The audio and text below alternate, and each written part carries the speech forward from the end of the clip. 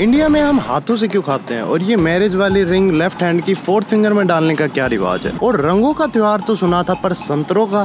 तो आज की वीडियो में हम कुछ ऐसे ही माइंड ब्लोइंग ट्रेडिशन के बारे में जानेंगे तो वीडियो को जल्दी से शुरू करते हैं। ग्रीस में अगर तुम बहुत खुश हो तो तुम्हें प्लेट को ज़मीन में देके मारना है। पर क्यों? ऐसा इसलिए है क्योंकि वहाँ के लोगों का मानना है, जो कि उनकी लाइफ में शैतानी आत्माएँ हैं, वो इनके टूटने के बाद से भाग जाएँगी। लोग हमें कहते हैं कि तुम हाथों से क्यों खाते हो, पर वो कभी खुद को ये नहीं पूछते कि हम बेफालतू के यूटेंसिल्स का यूज़ ही क्यों करते हैं। हर इंसान जानता है कि टंग ज़्यादा सेंसिटिव होती है अगर हम कंपेयर करें हाथों से तो। पुराने लोगों ने डिसाइड किया कि हम हाथों से जब पहले खाने को छुएँगे तो हमें गर्म ठंडे का आभास होगा और हमारी जीभ को नुकसान नहीं होगा। और खाने से पहले हम अपने हाथों को भी साफ़ रखेंगे। पर लोगों ने खुद को हाई स्टैंडर्ड्स और मॉडर्न बनने के चक्कर में डिग्रेड कर लिया। टमाटर नॉर्मल हो गया है, पर अब संतरे इटली में एक सिटी है इवरिया, वहाँ होता है बैटल ऑफ़ ऑरेंजेस ट्रेडिशन का तो पता नहीं, पर इसकी हिस्ट्री बहुत सीरियस है। ट्वेल्थ सेंचुरी में यहाँ एक लॉ था कि न्यूली वेड जो लड़की होगी, उसके साथ फ्यूडल लॉर्ड पहली रात बिताएगा। और क्यों? क्योंकि जस्ट फॉर फन एक दिन फ्यूडल लॉर्ड को ऐसी लड़की मिली कि उस लड़की ने उस फ्यूडल लॉर्ड का सर ही काट दिया, और लोगों ने भी इससे मोटिवेट होकर वहाँ का कैसल भी गिरा डाला। तब से ये शुरू हुआ फेस्टिवल वैसे तो पहले कई और चीज़ें भी, जैसे सेब वगैरह भी फेंकते थे, पर नाइनटीन सेंचुरी से ये संतरे फेंकते हैं।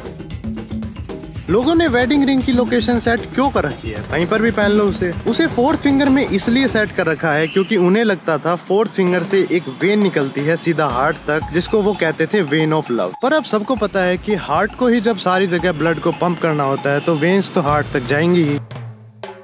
डेनमार्क में तुम्हारी सब्ज़ी बनाएँगे। क्यों? क्योंकि यहाँ का एक रिवाज है कि अगर तुम्हें 25 की उम्र तक भी शादी नहीं की तो तुम्हारे ऊपर मिर्च मसाले फेंकेंगे, वो भी तुम्हें घेर कर। अब रीजन तो ऐसा है कि पहले के टाइम पे जो वहाँ स्पाइस सेलर्स होते थे, वो कई सालों तक बैचलर यानी कुआरे घूमते थे। तो इसी के रिजेम्बलेंस में ये ट्रेडिशन बनाया गया है।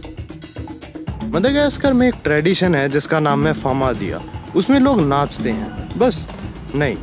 ट्विस्ट ये है, इसमें लोग डेड बॉडीज को लेकर नाचते हैं। तो इस ट्रेडिशन में लोग डेड बॉडीज को निकालते हैं और उनकी बोन्स को क्लीन करते हैं। और उनको एक क्लीन क्लॉथ में रैप करके उसको लेके सब लोग डांस करते हैं। इस ट्रेडिशन का मेन मोटो ये है कि लोग अपने एंसेस्टर्स के साथ जुड़े रहें और उनको रिस्पेक्ट करते रहें।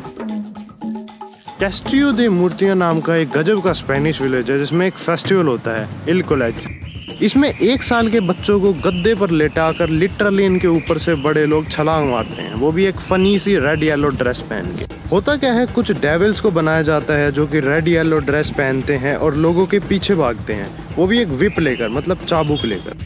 और कुछ देर बाद ये बच्चों के ऊपर से कूदने वाली प्रथा होती है, जिसके बाद बच्चों के ऊपर फूलों की पत्तियाँ डाली जाती है और ब्लेसिंग्स दी जाती हैं।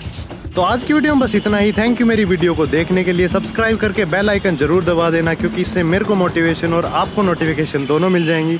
बाकी मिलते हैं मेरी अगली वीडियो में, तब तक के लिए बाय